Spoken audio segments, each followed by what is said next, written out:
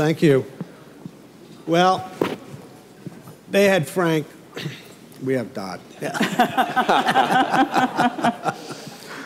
And you know, there's a couple of other famous uh, financial reformers, one named Glass and one named Steagall. And uh, Senator, I wanted to start by asking you, the bill Dodd-Frank sort of takes the world as it is and regulates derivatives, um, uh, resolution authority, and so on, as opposed to doing something more radical and creating a different world. So what I'd love to start with is, is, is the thought process that went into creating the bill that became Dodd-Frank. Well, first of all, I can't resist. I apologize having missed my partner in crime, Barney Frank, here earlier. I gather we kept you amused uh, for a good hour and a half. I must just tell you, Joe, and uh, it was about 4 a.m. in the morning, uh, the House and Senate conference report coming to a conclusion, and a congressman from Pennsylvania made the motion uh, to name this bill the Frank Dodd bill. now, there's Barney. Barney remember that, that moment. And uh, Barney said, no, that won't work. They'll think it's one guy. And you can't have uh, just one Frank Dodd. and I said, Barney, don't fool with me. I know what you're thinking. No one remembers Hawley's name and Smoot Hawley. So I understand here that I'd be end up bearing the final burdens of all of this along the way. Uh, anyway, thank you, Hank, for doing this, and, and, David Axelrod as well for having us all, all here. Well, look, Joe, uh, coming into this, after the, uh, the, the, TARP process, which was deeply involved in as well, as was Barney and Judd Gregg. Clearly, in our view, just walking away uh, from the idea of trying to uh, restructure, reform the financial services sector uh, to catch up with the 21st century. And there really hadn't any been major reform uh, back in the 1930s, uh, which was good reform. The SEC, the FDIC, Glass-Steagall, in a sense, gave us roughly 60 years of a pretty stable uh, economic situation in the country. So we felt we ought to step up. Others had been making recommendations in fact, Hank, I recall, and uh, you, you, made a series of recommendations earlier in the process about what we might do uh, to reform the process. So that was very much in our mind. Uh, just the idea of walking away after the fall of 08 and saying we don't need to do anything at all. It was just a, a few things that needed to be accomplished. So very much in our mind was uh, listening. We had a lot of uh, endless meetings and discussions with people about what ought to be included in the process. And a couple of things come to mind. Uh, certain things you cannot legislate or regulate. The confidence uh, uh, of people throughout the financial services sector, including the consumers of the product, have been shattered by what had happened. So restoring confidence was critically important in my view. I was interested in hearing the keynote speaker at lunch today uh, talk about the importance of the globalization, uh, which unfortunately was not being talked about as much. But the G20 in April of 2008 made a series of recommendations on financial reform, some 20 of them. Now, Barney and I didn't go around announcing all of that, but frankly, we tracked a lot of that. I thought harmonization of rules could be terribly important. Uh, because while this crisis was basically and largely a European U.S. one, the next one, as certainly will come, will involve a lot many more players than just the European Union and the United States, although others were obviously affected by what occurred. And if you couldn't begin to harmonize, not duplicate, but harmonize some rulemaking uh, in all of this, uh, then it would become even a more disastrous problem in the future. So that was very much as part of the, the consideration as well. Uh, we weren't going to solve every problem. Uh, obviously, trying to put this bill together was going to be complicated. I offered a discussion draft in the fall of 2009, uh, which unfortunately didn't attract much support. Uh, but, but my idea was to virtually consolidate prudential regulation into a single prudential regulator, include consumer protection within that prudential regulation. Uh, so you'd have some sort of a complement between consumer regulation and prudential regulation. I got about three votes, I think, for that proposal. I, I, think today people might look at it more favorably than they did in the fall of 2009. Uh, but I would have liked to have done more consolidation. We ended up, of course, eliminating one, but we added two. so we had a right. net gain of one uh, regulator in the process. So those were some of the basic thoughts. And obviously, this wasn't uh, an executive decision. I had 99 colleagues in the Senate. Barney had 500, 435 members of the House. You had stakeholders, obviously the administration and others, putting together a proposal. Uh, in the Senate, I had to have 60 votes. I lose one vote, and it's just a discussion. It's a nice conversation, but nothing happens at all. So putting that together requires, obviously, accepting ideas and thoughts, some of which I didn't vote for when we had the debates on the floor of the Senate. I didn't have much of a partner on the other side, uh, the Republican Party, and I say that regretfully uh, and trying to come together with more of a bipartisan approach. Uh, but in the end, uh, that wasn't going to happen, and so I had to deal with the members that uh, were at the table and interested in putting some of proposal uh, together. So those were the basic ideas as we began the process. Obviously, a lot happened between that point and the final product, but that was at least the motivations uh, when we began the, uh, the journey of trying to come up with a, a structure. You could not have done this, by the way, in 2005, 2006, or 2007, or even 2008.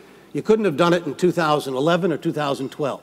The one window that you had a chance to do something in was the one we operated in. Uh, and had we failed in that view, uh, my view was that I think we look back with deep regret uh, that we didn't really respond except through TARP uh, to address the underlying causes that led us to the crisis uh, that culminated in the events of, of September 2008. Mary, from the point of view as somebody who was in the administration, the head of the SEC, um, how did it, and then you get this bill, and it's got a lot into it, and how much of it, I mean, when you look at it, how hard was it to implement from your point of view?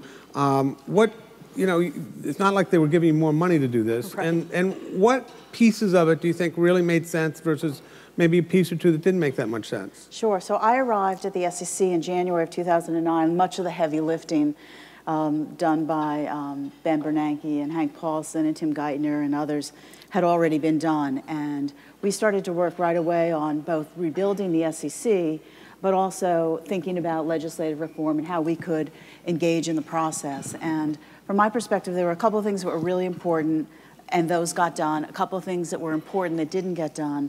Um, but um, obviously, after the legislation is done, much of the burden falls to the regulatory agencies to implement. And the SEC was given responsibility for close to 100 new rules, um, most of which have been either adopted or proposed, but there's still a long way to go.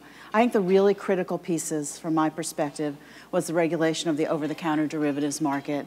Um, unfortunately, um, to the issue about uh, restructuring and rationalizing our regulatory structure, we have two agencies that are sharing responsibility for this $600 trillion market and two sets of parallel rulemakings which might have been more easily accomplished had we just merged the SEC and the CFTC, which I think would have made sense. But getting that market so that we have pre and post trade transparency, we have centralized clearing, we have business conduct standards, I think is an incredibly important response to the financial crisis. Um, I would say resolution planning, and we, have heard a lot about that uh, this morning, the creation of the CFPB. Um, from our perspective, again, hedge fund registration, not because the SEC is actively regulating hedge funds, but because we didn't even know what how many hedge funds were out there and what their strategies were. So the requirement for them to come in and, and, and talk to the regulators and explain what they were doing, I think was really useful. And one that might surprise a little bit is um, while I think it would have been better if we could have consolidated our regulatory system. The workaround for that is something I supported, which was the creation of the Financial Stability Oversight Council. It's a bit unwieldy. It's a, it's a big body of all the regulators, with including some state representation. But it is a good mechanism for sharing uh, information about um, financial institutions and, and risks to the financial system, which I think has created um, a much more seamless dialogue uh, in Washington about how to approach uh, regulatory problems. In terms of what's not done, there are two things I, I would point to. Um, money market fund reform, which um, some steps were taken uh, in 2010 to bolster the resiliency of money market funds. Um, but the reality is, um, I believe they still present uh, a run risk. There were enormous uh, complications, and you can read this in Hank's book, when the Prime Reserve Fund broke the buck in the fall of 2008. Started a run on money market funds, $300 billion withdrawn within the space of a week. Short-term credit markets froze. Investors lost access to their money in Prime Reserve and um, Treasury and the Fed had to step in with a taxpayer-funded guarantee program for a uh, nearly $4 trillion industry um, that represents an investment product, not a, not a uh, depository product, although it's treated for regulatory purposes as it does. And the second thing I think um, is that we now have this great new regulatory regime that's coming into effect for over-the-counter derivatives, for hedge funds, for others but we haven't funded the agencies that have ultimate responsibility for making sure that those regulatory regimes work. So I'm actually worried about a new kind of moral hazard. And that is that um, people think, great, over the counter derivatives are now regulated when you have a little tiny agency like the CFTC is now furloughing its employees um, for 12 days for the rest of the year uh, in order to uh, come in uh, at their budget number. They have 95% of the responsibility for this market, and they have no capacity to do uh, an appropriate regulatory job. And the same can be said, a little bit less true of the SEC. We have a bigger base to start with, but um, there's, there's no capacity there to ensure these rules are in fact being followed. Randy, um, one part of the bill is the resolution authority. Uh, and there's so much to this day uh, question about whether if a Bank of America or a Citi were getting ready to fail, would you actually use, would the government actually use the resolution um, that they have, authority that they have, or would there be another sort of panic and instant desire to, to save the institution? Um, what do you think about that in terms of what the bill does and says? Well, the principles are sensible ones to make sure that we have um, some sort of structure that allows us to have an orderly wind down of an institution that's in trouble, regardless of the size and regardless of what, what its activities are. There's still not a lot of flesh on the bones. Uh, the, um, uh, the outline in, in Dodd-Frank is, you know, gives a fair amount of uh, leeway to the FDIC and to the others to, to put it together, which I think makes sense. Uh, but we're still really waiting to see what that looks like. So in principle, it could be used in a sensible way. And I think um, there's a lot of optimism that it will be. The flesh that has come out seems to have made the, uh, the credit rating agencies um, somewhat happy. They've been talking about potentially um, uh, downgrading the so-called with support ratings because they give banks uh, the regular rating plus a so-called with support rating because they think that it may be less likely that uh, the, uh, the government would intervene to provide the, uh, provide the support. But I think we're, uh, we're, we're not there yet.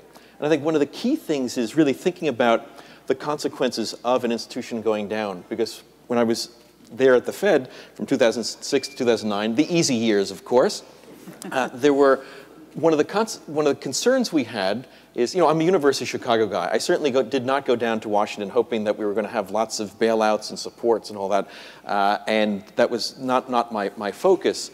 But when you're in the moment, there's a lot of uncertainty about what the consequences are of one of these institutions going down, and that both legal uncertainty and more market uncertainty, I think, is one of the greatest things that leads, greatest pressures that leads the supervisors and regulators and others to act because of the unknowns about what will, will go on. If we could focus more on a lot of the boring infrastructure of, you know, the sexy stuff is orderly resolution authority, but when you start talking about, you know, moving over-the-counter derivatives onto centrally cleared platforms, by the, end, the time you finish the end of the phrase, everyone's asleep or the tri-party repo system, or all of these things that, um, that make a very big difference. If an institution goes down, does that cause a ripple or a tsunami? it's much more about the infrastructure and making markets more robust than just some of these, these other specifics. And I don't think we've, we've spent enough time on some of these more boring plumbing issues uh, rather than on you know, some of these bigger picture things. Um, David, you, were, you had left the government by the time the reform was, uh, yeah. was underway, uh, but you had been deeply, deeply involved in the crisis itself. So as somebody from the outside looking in, were there reforms that you thought should have been part of it just based on your experience and weren't? Or, or was the bill that they, you know, how, how do you characterize uh, what the government did uh, in, in, the aftermath? Um, well, Senator Dodd alluded to, to some of the things that Hank had uh, proposed while, uh, while I was at the Treasury. And, and this is a, an area where Hank was pretty prescient. He knew that there needed to be some pretty significant regulatory reform even before the crisis hit. So if, if you think about something that we worked on while, while I was there, it was looking at our regulatory infrastructure. And there are a couple of themes associated with that. It was thinking about rationalizing the regulatory architecture. It was about identifying systemic risk both from the banking system and outside the banking system. It was how to deal with uh, large, complex organizations potentially failing. failing. And it was about uh, consumer protection but mostly the consumer protection was outside of the regulated banking system. And those are largely the themes in, uh, in Hank's blueprint. And kind of where we are in terms of those four themes is I'd say Dodd-Frank handled a lot of them. Uh, I think the senator is exactly right. He put together a proposal that did rationalize the, uh, the regulatory structure, and I wish that that advanced further, and I bet people would, be, people would take that up more now. Um, on on the CFPB stuff, I'm not sure. So they have the authority to spend their time outside of the banking system, which was a lot of where the real consumer issues happened. They haven't exercised that authority yet, so they get an incomplete on that because they're spending a lot of time in the banking sector. Uh, the resolution authority uh, concept is there. Uh, like Randy, I, I th- I think it's the tools are there and the plumbing is there. I mean, I think too big to fail is a misnomer. It's really too big to be liquidated quickly. And if you can give the government authority in order to manage that liquidation, you've basically managed the biggest issue, which is confidence in the sector. And then lastly, the systemic risk issue. So systemic risk is a massive is a massive sea change in how in how we think about the regulatory architecture in the United States. It remains to be seen whether or not that architecture is going to be used for a lot of institutions outside of the banking sector. So we'll see. But I, I think Dodd-Frank embodies a lot of the concepts that, uh, that Hank put forward when we were there. You know, I don't, they haven't really done a lot yet, though they have done some with payday lending, but I, it does feel to me as though the CFPA, the new Consumer Bureau, does want to um, dive into the non-bank sector. It's a huge, it's a huge problem. It's a very big undertaking. It's something to get your arms around. We spent a lot of time trying to get a sense of, you know, how can the federal apparatus deal with state licensed entities, entities that have a direct impact on the banking system but aren't part of the regulatory structure. So we'll see if they do it. It's a big, big, it's a big issue and a big task, and uh, they have the authority to do so. So a few years after the, uh, after the bill, actually, we have the London whale trade. The JP Morgan $6 billion loss.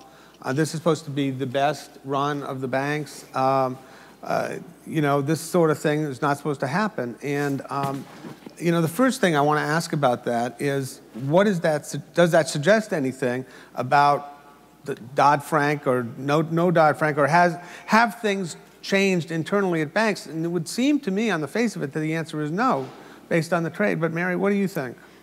Well, I think, I, I don't want to speak specifically to uh, the London whale trade because it obviously happened while I was chairman of the SEC and, and we were very involved. But what I do, I do think what you're seeing sort of across the board from regulators with respect to increased enforcement actions, significantly increased penalties, uh, and focus is that um, it's really driving the industry to a, a much more deeply embedded focus on risk management um, as a cultural matter, not as a check the box matter. And, and I think, um, and I think that's actually going to be a good thing. It, will it be a little bit of a drag? Maybe. But I would say the financial crisis has been a little bit of a drag too. And um, the idea that people can um, embed within the businesses and um, throughout an organization a focus on, on compliance and a focus on risk management uh, will, will be a very um, will be a very beneficial thing over the long run. I think it also argues for um, tremendous transparency between regulated firms and their and their regulators, so that there aren't uh, surprises like that. You know, let me just follow up quickly. Um, it does feel as though the regulators over the last six months to a year have gotten a lot tougher than they were at the beginning. And that may be um, a wrong assumption on my part, but you know, there's a million. Uh, J.P. Morgan is, is getting it from all sides right now, and um, there's a there's a kind of a that, and they're paying billions, not just the mere 500 million that Goldman Sachs paid for Abacus. So I wanted to just ask you, as a former regulator, whether it, whether it looks that way to you. You know, I think, um, look, I think the, I, I was always stung by the criticism that the, that the SEC or the Department of Justice or CFTC didn't want to bring the big cases and didn't want to name the, the important firms. And, and really, nothing can be further from the truth. There's nothing a prosecutor in a criminal context or a civil enforcement lawyer in the civil context wants to do more than bring the big case. The reality is, um, the federal government has awesome power and it's got to be exercised responsibly. That means you've got to have the law and the facts on your side. It takes a long time to build those cases. And so some of this, I think, is just the natural, time consuming process of building an investigative record uh, and, um, and, and bringing the actions. But I think um, we want, I think, as a society, for people to, to do that in the most responsible possible way. The Volcker Rule. Let's talk about that for a few minutes. It's, um, it's a really complicated situation. The attempt is to um, prevent banks for, from, from doing most proprietary trading. Um, uh, Senator, why, why wasn't it you know, why didn't it make the, uh, the early rounds of the bill? Well, because Paul Volcker hadn't testified yet, I suppose. There was some discussion about it earlier. It wasn't as if it wasn't uh, not talked about at all. There was discussion about, about proprietary trading. And, and everyone, I think, agrees that on, on a one level, if you look at it one dimensionally, that obviously gambling with other people's assets here is something you want to put the brakes on uh, about. There's no argument about that per se. It's when you start getting to the legitimate areas of, of hedging, for instance, at interest rates and a variety of other areas, that, that you need to have proprietary trading to some degree. And, uh, and I thought Paul made a good case. Uh, his testimony wasn't the best, in my view, because it left a lot of questions in people's minds. And when you get into the subject matter, it gets complicated. If this were easy, obviously, uh, we would have dealt with the rules a lot earlier, but it is complicated. I, I, I get asked the question all the time about uh, uh, how we settled on, on 3%. And I, I, I love to tell audiences, look, it was very complicated. I brought together the best economists in the world. We sat around for a week and had a long conversation about what the rate ought to be. There were a bunch of people who thought it ought to be 10%. There were others that thought it ought to be zero. But I could get 60 votes for three. Uh, I'd love to tell you it was more complicated than that. Uh, but in many ways, you're putting a bill together. And, and, uh, and, and while other people have brilliant ideas and arguments to make, it, when you're trying to fashion a piece of legislation, in dealing with 99 colleagues and 435 in the House, uh, you, you, deal with what you have, in a sense. And, and so uh, I'd love to tell you it was more sophisticated than that, uh, but that's about how you come out with that number. And I don't think we're unique. You go back throughout the history of the Republic, you'll find in one case after another, putting bills together is more than just giving a speech somewhere. You've got to listen to your colleagues and you've got to work with them in order to achieve those results. So I have a lot of confidence. I, I saw what Jack Lew recently suggested that uh, putting aside the shutdown for 17 days or so, that that in fact uh, the, the various regulatory bodies will deal with this, they hope, by either the end of the year or the early part of next year. And I hope that's the case. Obviously, I think both Barney and I would wish this were done earlier, but I think most of us feel getting it right is more important than getting it quick. Uh, and so while this is taking time, in the long run, I think we're in a better place because we spent some time trying to get it right rather than rushing something through that we look back and regret. There's nothing Talmudic about the Dodd Frank legislation. Nothing biblical about this. We did the best we could in putting this together. And I think Barney, if he didn't say it this morning, I'm sure would agree with me on this. And that is, we need to have oversight of this process. Uh, did we do as well as we thought we were doing in certain areas? Anytime you're dealing with a subject matter this large, this complicated, there are always going to be things that have the quote unintended consequences. And certainly it's up to the regulators, it'll be up to the Congress, the committees, and so forth to do the work. Uh, just to pick up on, on the point made on resolution authority, this piece of legislation absolutely legally prohibits doing what we did in the fall of 2008. Yep. It's against the law now to do what we did.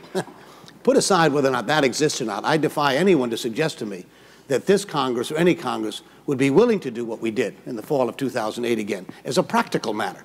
You've got to be living on a different planet than I am to think that could happen today. Uh, maybe in 50 years from now, when memories have totally faded, someone might come back and try something like that. But you couldn't do it. So the resolution authority, I think, builds in some disciplines in the process uh, that, are, that are critical. And we won't really know until we're confronted uh, with, with a situation. Hopefully that won't happen, in a sense, because of what we've done here.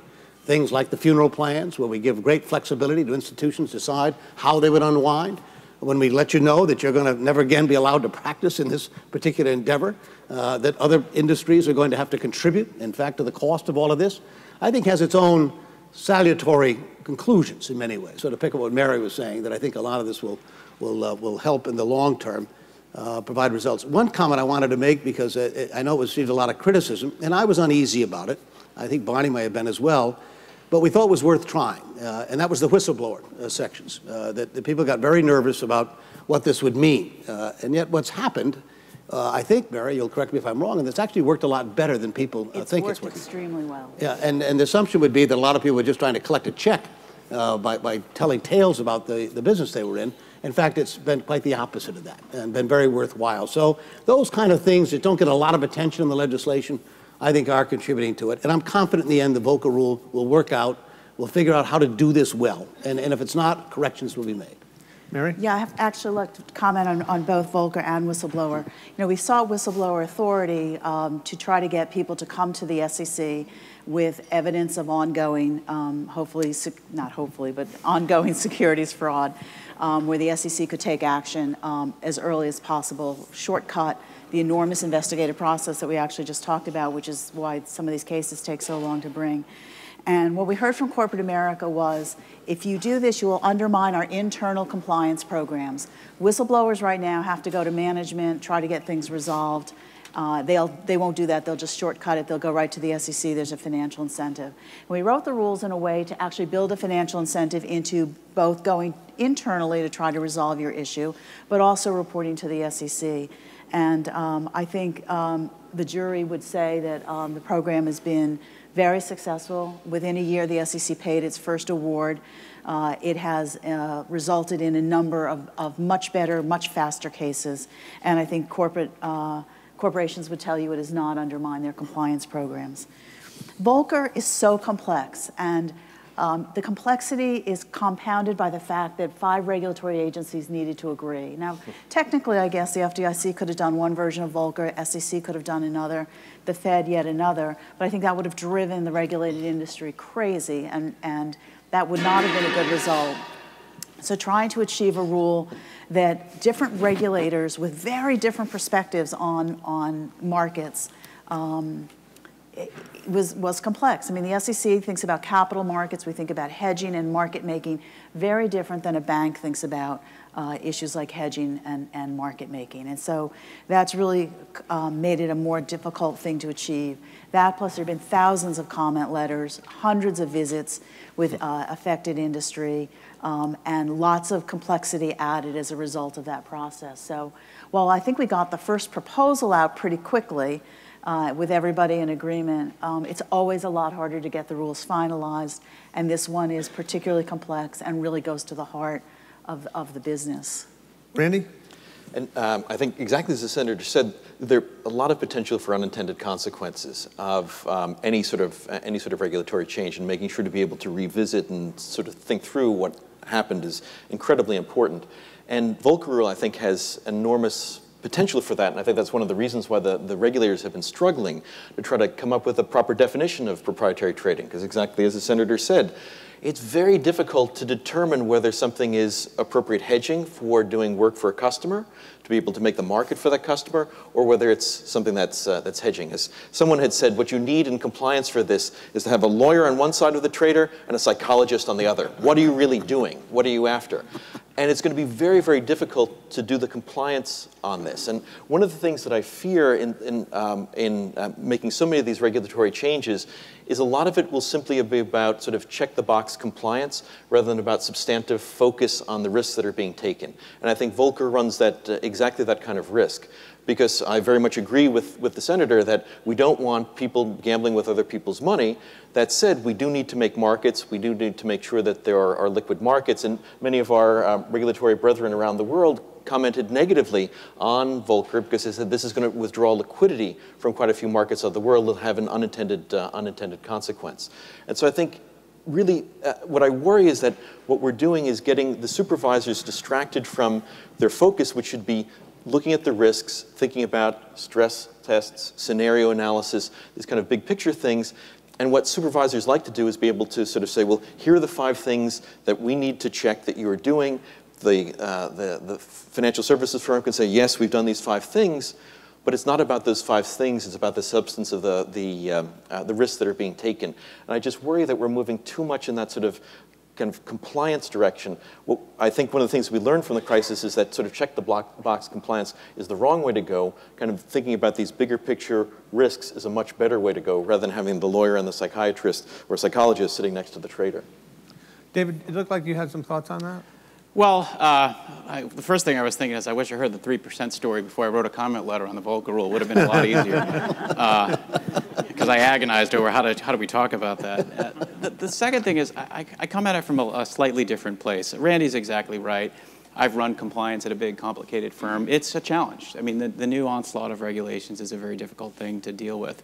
But I think the Volcker rule basically is is rehashing a debate that we've had in the banking system for a long period of time about whether or not we want banking to be narrowly focused or broadly focused.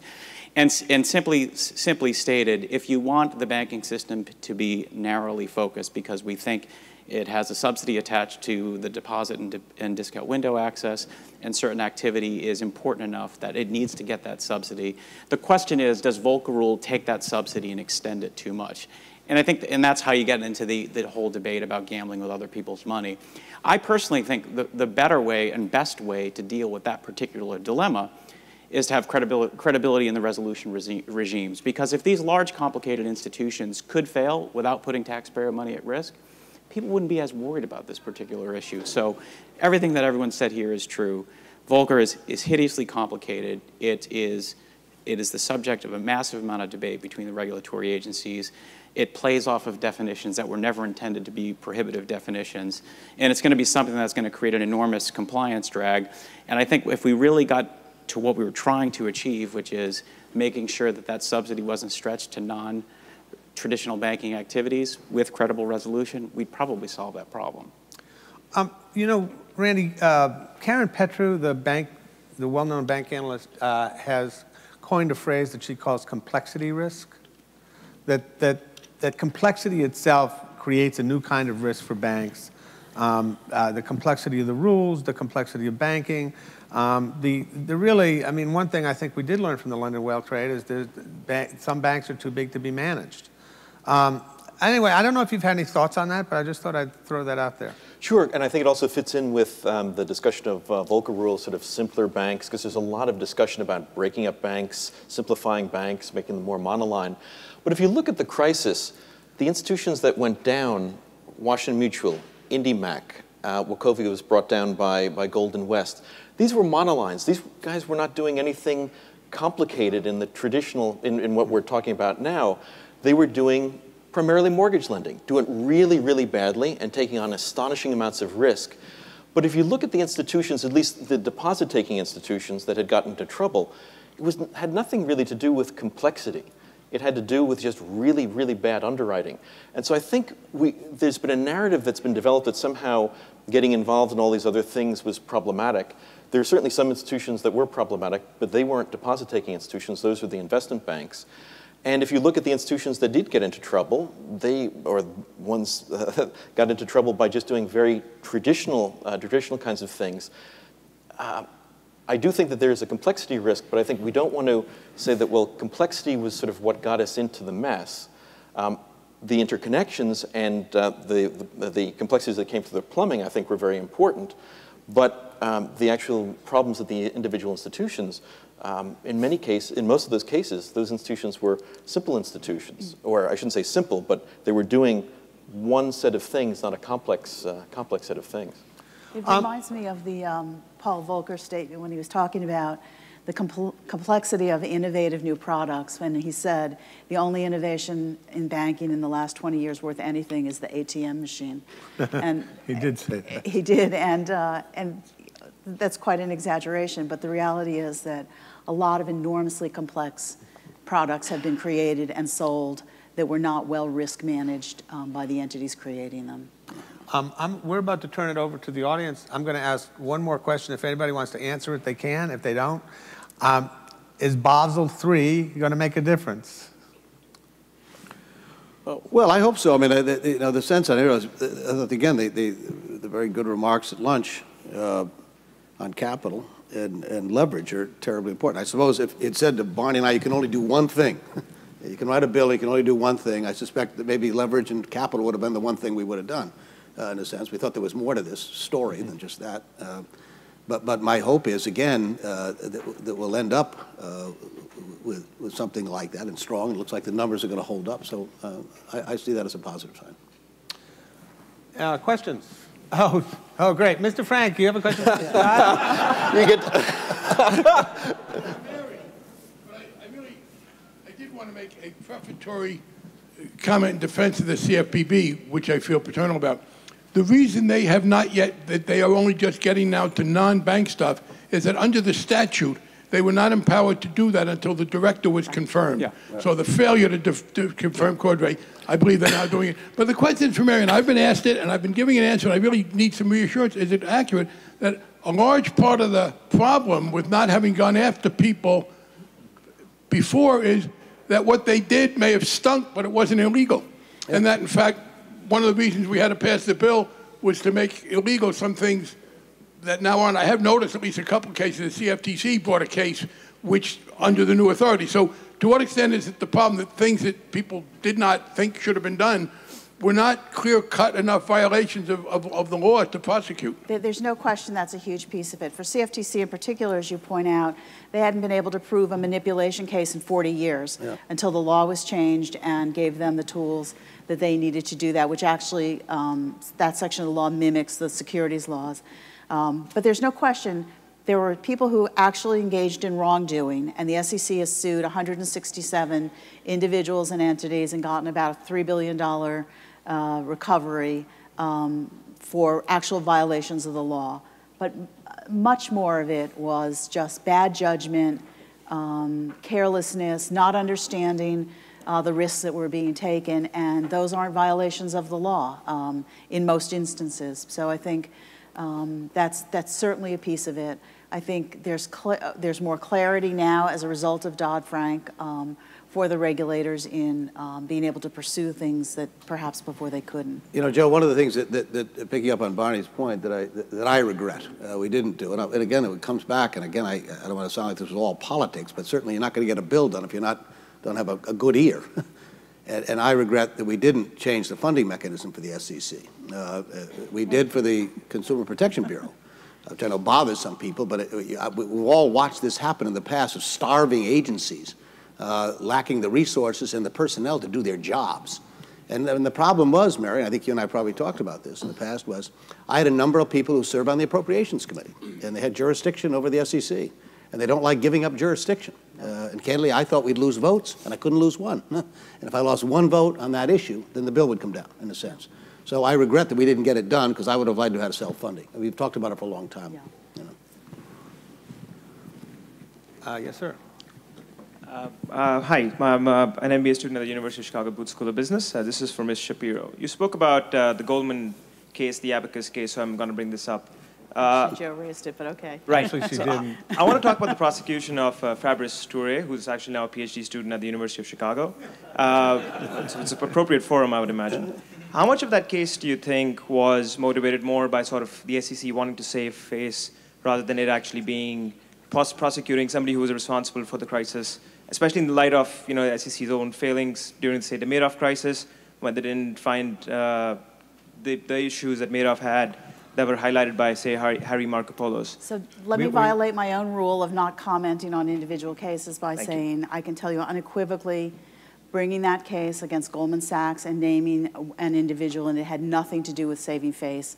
It had everything to do with um, prosecuting a violation of the federal securities laws. And, um, you know, I, when I got to the SEC, I actually was nominated um, by President Obama a week after um, Bernard Madoff was arrested and, and had confessed to his Ponzi scheme. And we spent a lot of time rebuilding the enforcement program at the SEC to, to really record levels of results over the last several years.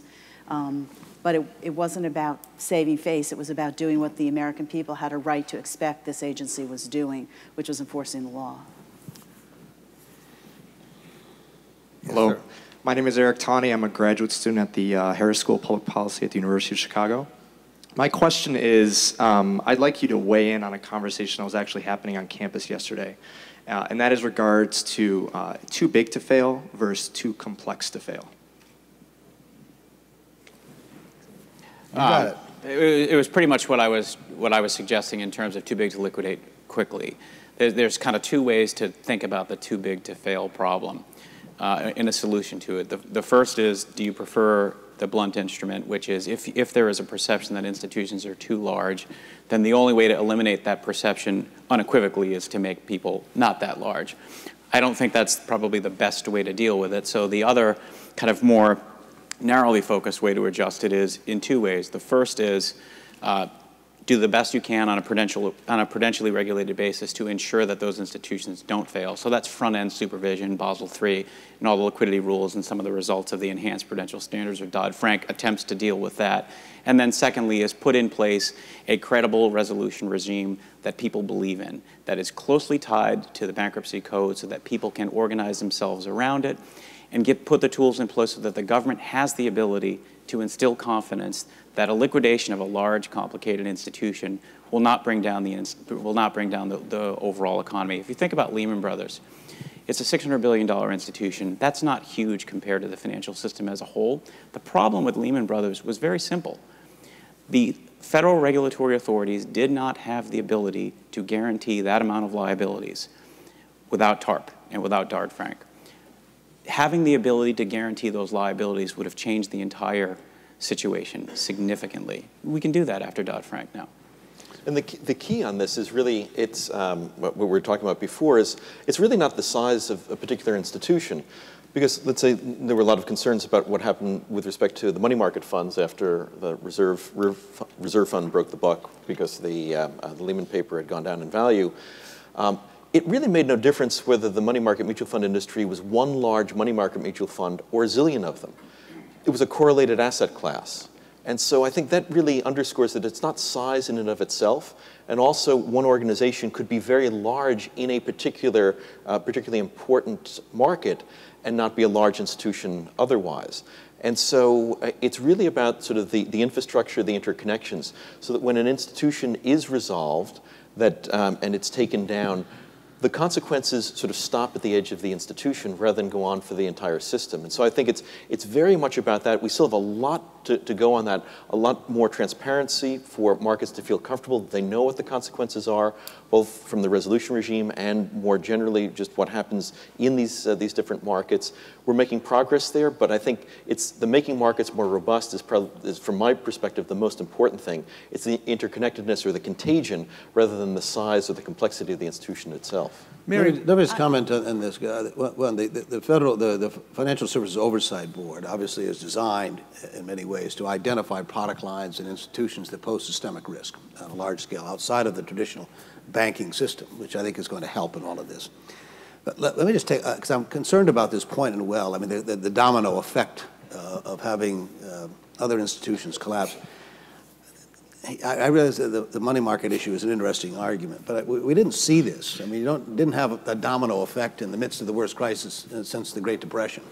And so while I, I, I think it's a, a, point worth raising, uh, I'm, I'm, not convinced that that's really a, a, great danger or threat in all of this. Uh, but that's what AIG, that's why we intervened in AIG, for precisely this, this concern about the knock-on consequences for the, the system as a whole, because everyone was interconnected to it through the, the credit default swaps. We didn't see it because the Fed intervened. Yeah. Well, I know, but I'm not sure if we had let AIG, instead of doing what we did, uh, would be interested whether or not you would have had that effect. I'm not sure that's the case, and, and that's, that's the point, because that's the argument, in a sense. I think the most telling argument is that could be the effect. And obviously, you want to don't want to have to test that necessarily, exactly. but but nonetheless, the idea is as well that. Uh, uh, th that this can work, uh, in my view. One point that I, again, I, I, mentioned the funding of the SEC, which I regret we didn't get done. The other one is, is the bankruptcy code itself. I mean, I had hoped in the midst of this bill that we'd have some reform of the Bankruptcy Act, because that's personally a one-off sort of a process here. And obviously, there are potential for having a domino effect. Uh, and the bankruptcy laws as it's presently written doesn't accommodate that terribly well. And so if I were recommending to my former colleagues in the Congress something they might want to take a good hard look at, it would be the Bankruptcy Act uh, in terms of whether or not it's, it's well suited to deal with the potential problems you could have with the domino Could I just, I want to emphasize something um, Randy said because I think it's really important. The Prime Reserve Fund was, um, it was a, a reasonably big money market fund. It was $62 billion in assets, but just about 1% of that was Lehman paper. And so when Lehman declared bankruptcy and that paper was devalued, that was enough for them to break the buck and to cause this fear throughout the uh, money market fund industry, which was in fact a $4 trillion industry, that an enormous redemptions started to happen. Um, funds had to sell assets to meet redemptions into sort of a fire sale situation. And but for Treasury stepping in, um, it's not at all clear what, what would have happened, but short-term credit markets froze, as I said before, and um, and that interconnectedness, even in a sort of indirect way that we hadn't been traditionally thinking about, um, created huge risks for the financial system. Mary, why don't you take a minute and uh, lay out what your plan had been to reform the money market fund and, and why, uh, why it didn't happen? Sure. Well, I, um, in 2010, the SEC actually took some very important steps to bolster the resiliency of money market funds. We increased credit, qu- w- put in new requirements for increased credit quality, shortened maturities, uh, required stress testing. Um, but the reality is, um, a money market fund is priced at a stable $1 value, even when the value of the assets um, are less than a dollar per share. And um, so there's an enormous incentive to run um, if you think the fund is going to break the buck to get your $1 out, even though it might only be worth, you know, 0.999 cents, um, 99 cents. So the um, proposal was to let's float the, the share price. It, let's have it reflect the value of the underlying portfolio. It's called a floating net asset value or, or FNAV. Um, or let's put some capital behind that $1 price so that there's a buffer if there's another reserve problem. Um, capital would absorb um, the losses and you wouldn't create um, this run situation. I didn't have the support of my commission. Um, there were just two of us who supported it, supported it, and three commissioners who didn't. Um, so I asked FSOC to intervene. Um, one of the reasons FSOC was created was to engage on systemic risks where the primary regulator was un unable for any reason to engage. FSOC put out proposals very similar uh, to the ones I did um, that I proposed, a capital buffer, floating NAV, or a very small capital buffer with a minimum balance requirement so that you could pull out 97% of your of your holdings in a money market fund at once, but 3% had to remain behind for 30 days to share in the first losses. Uh, those went out for comment. Um, subsequently, the SEC came out with some new proposals. Uh, one is a floating net asset value, but only for institutional prime funds um, and uh, not government funds and not, and not retail. And the other are uh, voluntary gates and redemption fees associated with uh, redeeming shares. And that comment period closed recently, and, and we'll see where the uh, SEC goes with that. We've got time for one more brief question. Anybody? Go ahead. Hi, uh, Eric Wesson. I was actually just wondering briefly, one of the effects of Dodd-Frank is obviously this escalation of compliance costs, which I think is having a deleterious effect on medium and small-sized uh, banks. And I was wondering what sort of effect you think that will have both on capital accessible to non-large companies and also just generally on the market as a whole. Thank you. I, I don't know. Any, Well, certainly, as, as I mentioned, I mean, compliance costs are up dramatically, and, and, and some increase in compliance costs makes sense because I think there wasn't enough compliance with, uh, with uh, many of the basic rules earlier. So I don't want to say that compliance costs in, in and of themselves should be minimized. That's not, not what I meant to, to argue. But you want to think about sort of the cost benefit uh, benefit analysis. What are we getting for some of this? Are we really focusing on the risks, or are we focusing on compliance for compliance's sake? And, um, and I think that, that is a challenge. There, there have been some differences in the way compliance has been working for larger banks and smaller banks precisely to uh, be sensitive to some of these, uh, these differences at, uh, at smaller and medium-sized banks. Um, I think we're still working through getting the, uh, getting the balance right. Uh, this is one of the issues with respect to, to Basel III. You had asked about that before. Uh, there'll be different, um, different applications for larger institutions versus smaller institutions. Again, trying to be sensitive to these, uh, these differences in, uh, in, uh, in situations, and so differences in appropriateness of, uh, of compliance and compliance costs. Um, it, it's still to be, um, to be worked out. Let me just you know, comment. I know this conversation is all about stability of the financial institutions. Something that's sort of been left out of the conversation, and understandably so, given the title of the conference we're having. 26 million people lost their jobs. $13 million in, in accumulated wealth in this country disappeared uh, almost overnight. Uh, we sometimes forget the human impact of a lot of this. Lives were destroyed. Savings were wiped out of people. So I don't think we ought to be unmindful about compliance costs. Uh, but let's, let's not forget what we went through. We're blessed in this country with both uh, with, with, having no memory. That, that works for us and against us in many occasions. Okay. But, but having some memory of just what happened five years ago, and it didn't happen just in the fall of 2008. This began a lot earlier than that, uh, than just what occurred in September of 2008. And, and, and the wreckage and the carnage, not just here but elsewhere around the globe, that's being felt still as a result of that. So while I understand we need to be thoughtful about the cost of compliance, let's not forget the cost, what we went through, what these people in the country went through as a result of this crisis. Too often that's been forgotten in the debate and discussion. It should not be forgotten, in my view. Well, that's about the most perfect note to end on that I can imagine. So listen, thank you very much. Thank you, panel.